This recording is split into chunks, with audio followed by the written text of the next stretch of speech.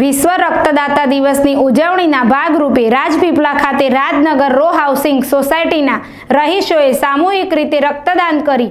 વીસ જેટલા યુવાનો તથા મહિલાઓએ પણ સમૂહમાં રક્તદાન કરી રેડ ક્રોસ ડેની ઉજવણી કરી હતી.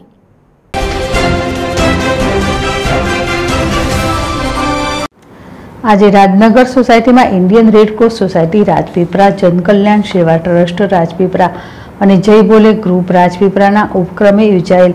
આજની આ રક્તદાન શિબિરનો મુખ્ય ઉદ્દેશ એ પણ હતો કે રાજપીપળાની રાજનગર રાજનગર રોજ હાઉસિંગ સોસાયટીના બે રહીશો પૈકી કલમભાઈ વસાવાના પત્ની તથા જય બોલે ગ્રુપના સભ્ય ધર્મેશભાઈ માસીની જન્મતિથિ પણ હતી. ત્યારે હાલ ચાલી રહેલ કોરોના કપરા સમયમાં પસાર અને આદિવાસી નર્મદા જિલ્લામાં રક્તની જરૂરિયાત સામે રક્તદાન ખૂબ જ ઓછું થાય છે. ત્યારે અહીંના રહીશોએ આ રક્ત જરૂરિયાતવાળા દર્દીઓને લોહી કામ લાગે તે હેતુથી રક્તદાન કર્યું હતું.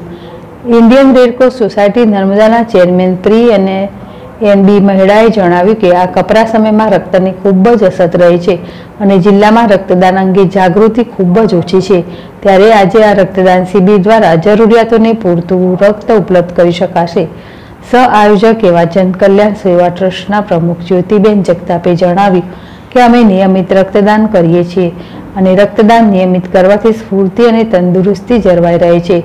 જેથી બધા લોકોએ નિયમિત રક્તદાન કરી જરૂરિયાતવાળાને રક્ત પહોંચાડવામાં મદદ કરવી જોઈએ.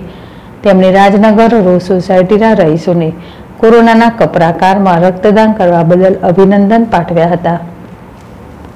દીપક જગતાપ, જેડેશ TV, Rajpipla.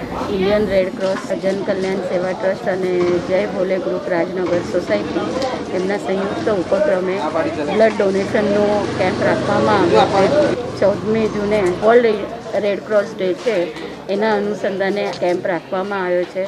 અત્યારે કોરોનાનો કાળ ચાલે છે અને લોહીની બહુ જ જરૂર પડે છે.